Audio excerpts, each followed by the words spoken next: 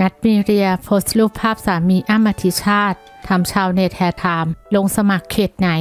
เชื่อว่าหลายคนคงจำกันได้สำหรับอดีตนักร้องยุค 90 อย่าง นัทมีเรีย เริ่มเข้าสู่วงการบันเทิง ด้วยการตามเพื่อนที่เป็นนางแบบไปลองทดสอบหน้ากล้อง ในขณะที่มีอายุเพียง 13 ปี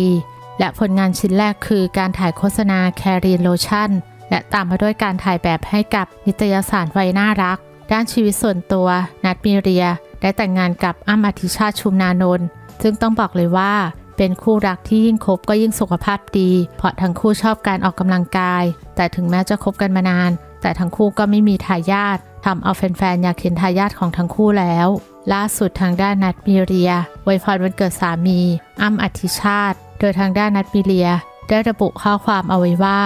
แฮปปี้เบ t ร์ a เดย์นะคะท่าน อั้มอธิชาติ 9 รบกวนทำตามนโยบายที่ท่านได้ไว้ให้ด้วยนะคะ รักท่านสม่ำเสมอค่ะท่ามกลางเพื่อนๆที่เข้ามาคอมเมนต์อาทิเช่น น่ารักเขตไหนคะ สุขสันต์วันเกิดค่ะ Happy Birthday ค่ะ Happy Birthday ครับ ขอขอบคุณแหล่งข่าวจากทีนิวส์ค่ะ